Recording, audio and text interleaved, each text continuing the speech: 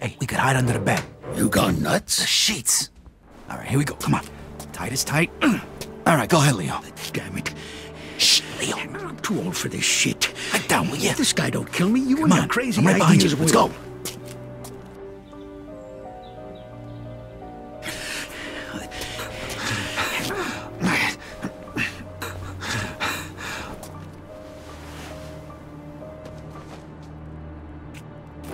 So what are you gonna do now?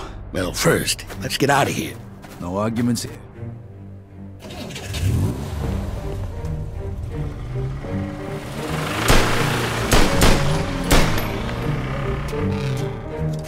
Fucking shit!